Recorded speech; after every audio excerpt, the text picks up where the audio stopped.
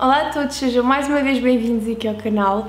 Hoje trago-vos os meus favoritos de 2023, aqueles produtos que eu usei e abusei durante este ano.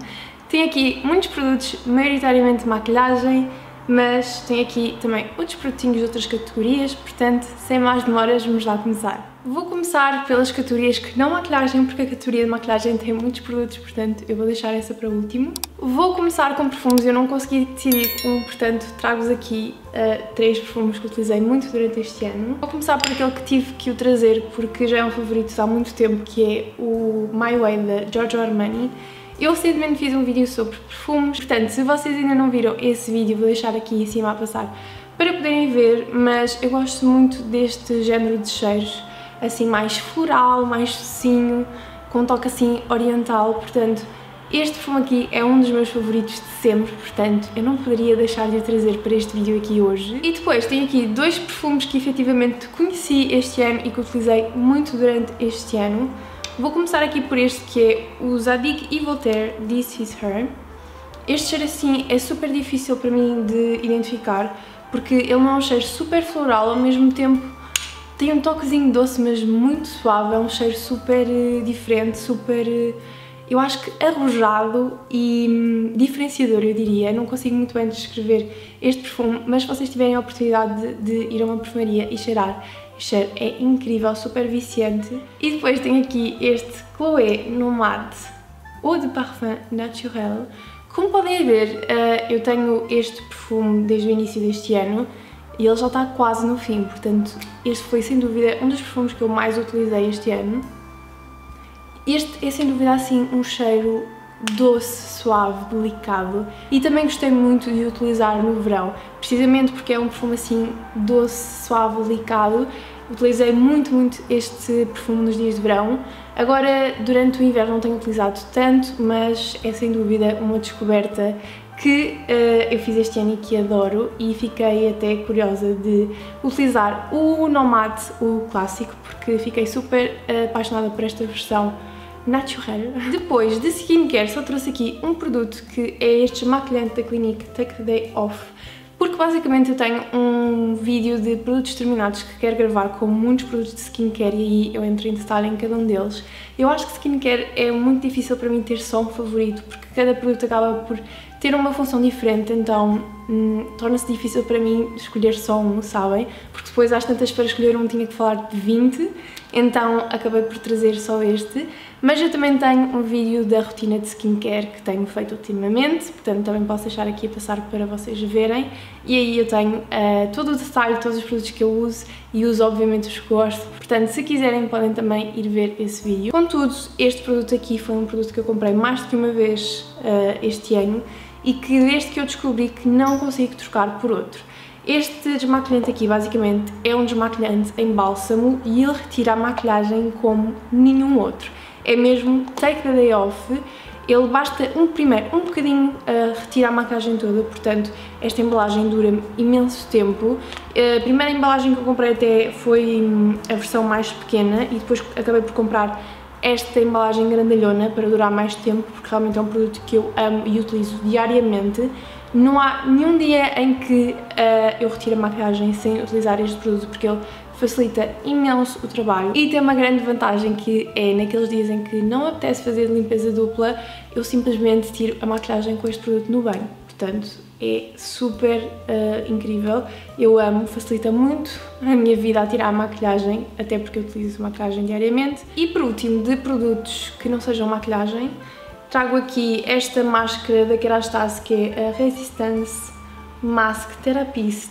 Eu amo esta gama da Kerastase e comprei esta máscara várias vezes ao longo deste ano, acho que utilizei para aí umas três embalagens. Não há nenhuma máscara que tenha o mesmo efeito no meu cabelo que esta máscara, porque ela efetivamente repara o fio e quando o meu cabelo está assim super seco, por exemplo, no verão eu parei de utilizar esta máscara durante os tempos, porque ela acabou e não comprei logo de novo, e o meu cabelo sofreu imenso, porque realmente esta máscara ajuda imenso a um, selar o fio, sabem? Portanto, nas pontas então é uma diferença brutal e portanto esta máscara é uma daquelas que eu utilizei imenso ao longo deste ano e que vai de certeza comigo para 2024. Agora passamos para a categoria de maquilhagem, eu vou tentar ir mais ou menos pela ordem que eu faria a maquilhagem Não trago aqui primer porque, honestamente, para mim 2023 não foi propriamente um ano de primer, eu não utilizei primer muitas vezes, só assim para maquilhagens mais elaboradas, apesar de achar que faz imensa diferença, confesso que, assim, andei um bocadinho preguiçosa no primer e acabei por valorizar mais uma boa skincare do que aplicar o primer. Portanto, vou passar já para as bases. Trago aqui duas bases que uh, utilizei muito este ano em contextos diferentes. Vou começar por esta aqui que conheço há mais tempo e que é uma base que tem uma cobertura um bocadinho mais alta, portanto é aquilo que nós achamos do clássico base. Ela é Stay Naked da Urban Decay. Esta base aqui é surreal, eu não tenho nenhuma base que, que me dê o efeito desta, porque esta base, ao mesmo tempo que tem uma cobertura média a alta, ela tem assim um acabamento super, super natural na pele, parece uma segunda pele.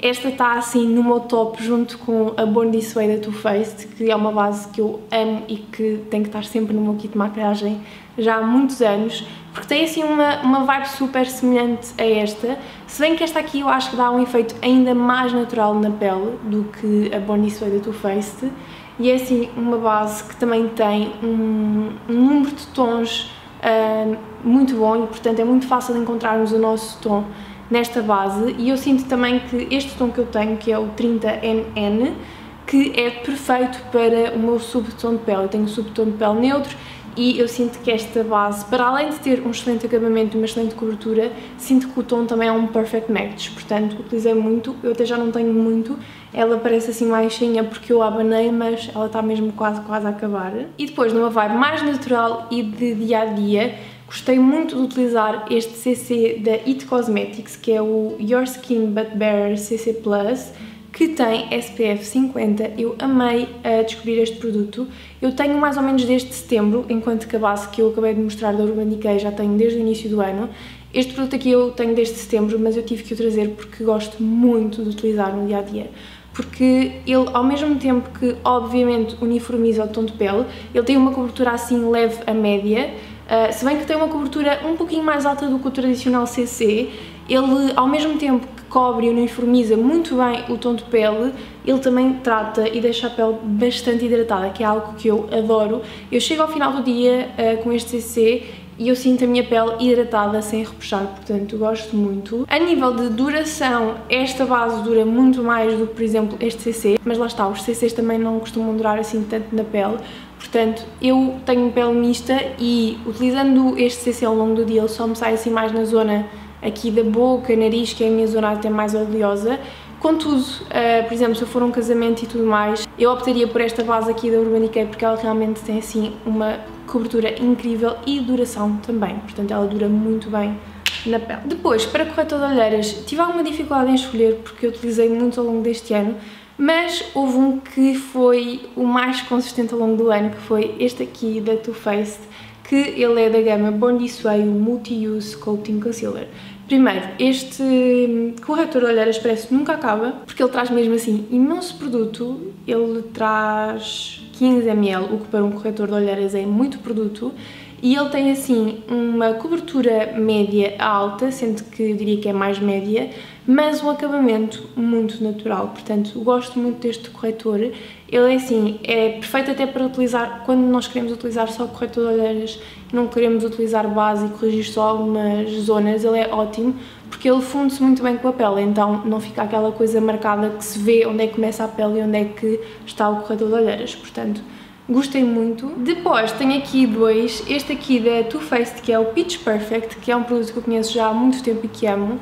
Ele é um pó uh, solto, ele é assim, tentar não fazer aqui a geneira, ele é assim begezinho claro, portanto absolutamente maravilhoso gosto muito. E é um pó que me agarra a maquilhagem durante o dia todo. Se eu tiver assim um longo dia de manhã até à noite, é este pó a que eu recorro e ele não faz flashback também nas fotos, o que eu adoro porque ele não é aquele branco, branco puro, é assim um branco pérola. E uh, fiquei um bocado indecisa entre trazer este produto ou não, porque na realidade eu só tenho assim também há meio ano, mas eu tive que trazer, que é este aqui da Laura Mercia, que é o Translucent Honey Powder que é também assim um produto incrível. Ele tem um grão um pouquinho mais grosso do que aquele da Too Faced que eu acabei de vos mostrar, mas ainda assim é também um daqueles produtos incrível que agarra muito bem a maquilhagem e que faz com que ela dure o dia todo e matifica super, super bem o rosto. Portanto, também foi sem dúvida assim um dos produtos que eu mais utilizei ao longo deste ano, portanto tive que o trazer, apesar de eu só conhecer assim há alguns meses. Depois passamos para blush, porque eu não trouxe aqui nenhum bronzer, porque na realidade uh, eu não tive assim nenhum bronzer que eu utilizasse assim especificamente muito ao longo deste ano. Eu utilizei tantos diferentes que tive dificuldade em escolher só um. Por isso, olhem, acabei por não trazer nenhum, nenhum bronzer e vamos passar então para o blush, que no blush aí sim há aqui uns produtos que eu utilizei muito especificamente ao longo deste ano. E novamente tive que trazer uns que conheço há muito tempo, que são estes da Rare Beauty, e um que conheço já há muito tempo e que já, enfim, utilizei desde o início até ao final do ano. Portanto, vou começar por, eh, por esse, que é este blush aqui da Dior, que é o Dior Black Stage Rosy Glow na cor 001 Pink. Este blush aqui ficou super viral no TikTok e nas redes sociais e eu percebo perfeitamente porquê, porque este blush faz por mim aquilo que nenhum outro faz. Eu não sei explicar o que é que é, se é o acabamento, se é o próprio tom de rosa uh, do blush, mas ele dá assim um ar de saúde à pele e um acabamento tão, tão natural que eu sinto que a minha maquilhagem fica especialmente bonita uh, quando o utilizo. Então este foi um daqueles que me acompanhou desde o início até ao final do ano e é um produto que honestamente eu acho que se acabasse este blush eu acho que voltaria a comprá-lo. Bem que confesso que eu utilizo tanto e ele ainda tem imenso produto, portanto é daqueles produtos que eu acho que dificilmente algum dia vai acabar. E depois tive que trazer estes blush líquidos da Rare Beauty porque não há assim nenhum produto que eu tenha experimentado que, que faça o efeito que estes blushes uh, dão. Eu não tenho utilizado agora tanto no inverno e sem tonzinho, sem bronze, mas eu utilizei tanto, mas tanto estes blushes quando ainda tinha assim um bronzinho na pele, porque eles ficam tão lindos, tão natural. Naquelas maquilhagens em que eu às vezes não quero utilizar pó e fazer assim mais uma vibe, no make-up, make-up, só mesmo com o pó aqui no corretor de olheiras e depois todo o resto da pele super glowy com um tonzinho de blush, fica tão mas tão lindo. Eu tenho estes tons que é o Happy o Hope, que são tons assim rosados nude e eles ficam absolutamente maravilhosos. Já para não falar de que estes blushes são muito pigmentados, portanto tem que se ter cuidado a utilizar, mas basta assim literalmente um pontinho para ter o efeito, portanto eu acho que estes blushes também vão durar assim imenso tempo. De iluminador, novamente, trago um que tenho utilizado desde o início do ano, que é esta paletinha aqui da Dior também, que é a Dior Backstage Glow Face Palette, que tem então todos estes tons de iluminador, sendo que este aqui rosinha é mais como blush e este aqui é mais como um bronzer ou um blush uh, mais castanho. Então eu utilizo muito a misturinha destes dois, que é o branquinho e o dourado. Já tenho esta paleta há algum tempo e é uma das que eu mais utilizo. Lá está, porque dá um brilho incrível à pele e ainda assim tem um acabamento super natural, não marca a pele, portanto é sem dúvida um dos meus iluminadores preferidos. E depois tive que trazer este aqui da Rare Beauty, que tenho honestamente há pouco tempo, mas que é super diferente de tudo aquilo que eu tenho. Este aqui é na cor Accelerate, que é assim um champanhezinho super bonito. É o que eu estou a utilizar hoje na pele. Do ponto de vista de acabamento é muito parecido a este da Dior, portanto indetetável, mas do ponto de vista de tom ele é, tem um tom ligeiramente diferente, eu diria mais douradinho até do que este aqui. Este aqui acaba se cá por ficar um pouquinho mais frio, se bem que obviamente que esta paleta tem várias opções e que este iluminador só tem uma, não é verdade? Mas como podem ver eu tenho há muito pouco tempo e já utilizei bastante, ele já está bem marcadinho, portanto é um daqueles produtos que eu acho que vai entrar assim no meu top de favoritos também para o próximo ano. Depois de olhos, tenho aqui uh, esta máscara aqui da L'Oréal Paris, que é um favorito há muitos anos e que não há nenhuma que eu sinto que tire o pódio a esta menina, que ela é Unlimited Mascara, esta versão aqui é waterproof da L'Oréal. Ela tem assim este aplicador que dobra, estão a ver? E eu não sei, esta máscara de pestanas funciona especialmente bem nas minhas pestanas, destas longas, com volume e fixa durante o dia todo. Ela é muito confortável de utilizar, portanto não esfarela, não nada, é perfeita, amo esta máscara de pestanas. E para lápis tive de escolher este aqui da Urban Decay, que é o Perversion. que é o preto mais preto que eu já testei. Este lápis aqui é inacreditável, é mesmo um preto super intenso e ele agarra super bem, portanto este lápis é daqueles que é mesmo super difícil de tirar depois no final do dia, tem uma duração incrível e um, eu até já tenho um estoquezinho dele, porque este aqui, como podem ver, está quase a acabar e eu já não vivo sem este lápis preto, portanto já tenho o backupzinho dele. De paleta de sombras, honestamente, desde o início do ano não houve assim nenhuma que eu utilizasse especificamente, mas houve duas que eu descobri a meio do ano e que amei, que foram estas duas. Vou começar por esta aqui, linda, que é uma paleta da coleção do Rei Leão Coessas.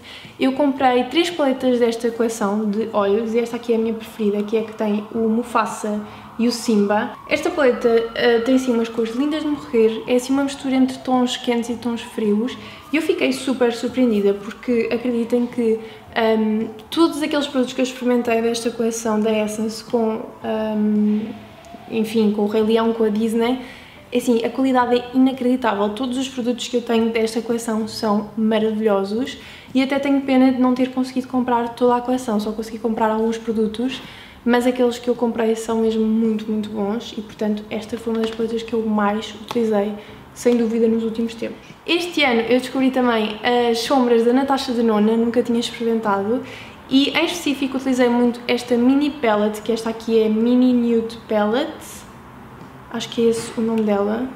Tinha ideia que ela chamava Sunset, mas acho que não. Se calhar é só Mini Nude Palette. Que eu tinha ideia que isto tinha tons. Mas não dizem lá nenhum, portanto, olhem.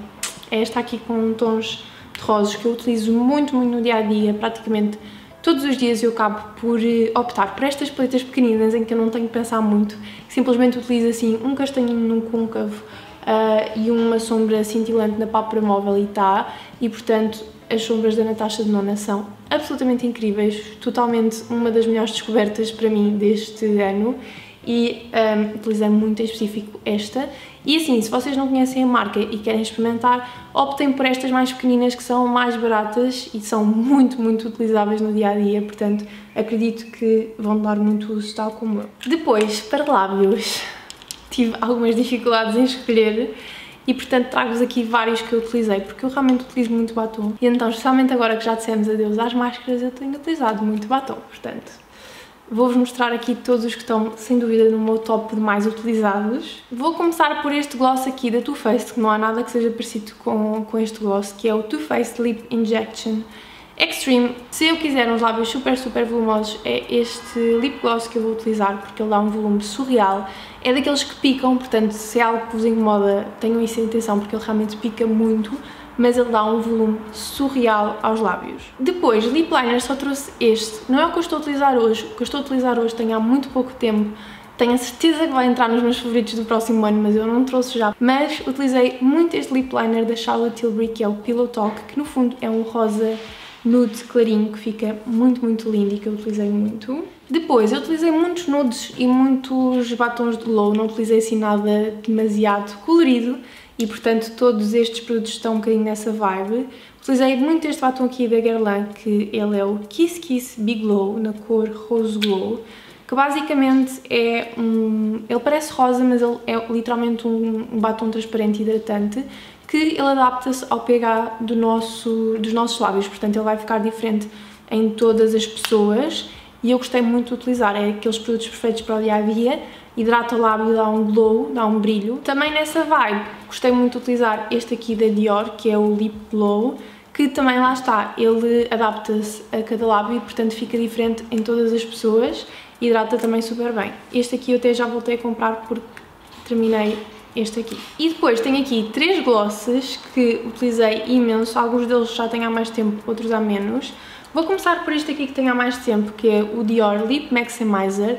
Este gloss aqui ele dá também assim um super volume, este aqui é mais nudezinho e ele não pica tanto, ou seja, ele dá volume sem picar, portanto, quando eu quero um bocadinho de volume, mas não acontece aquele efeito super de pica-pica, eu em vez de utilizar este Tattoo Face acabo por utilizar este aqui da Dior. E depois de glosses com cor tenho aqui dois, este aqui da Maybelline que é o Vinyl uh, Ink Super Stay Estes glosses aqui são muito bons para quem gosta de gloss com cor. Ele depois fica assim um pouquinho mais uh, mate, passado um pouquinho, mas ele fixa muito bem nos lábios, tem assim um aroma super docinho, agradável, eu gosto imenso deste batom.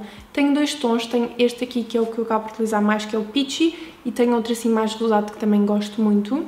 E assim mais recentemente descobri também este gloss, que é o que eu estou a utilizar hoje, que é da Art Deco Plumping Lip Fluid, na cor 21. E eu ando muito... Ah, 21? Exatamente, 21.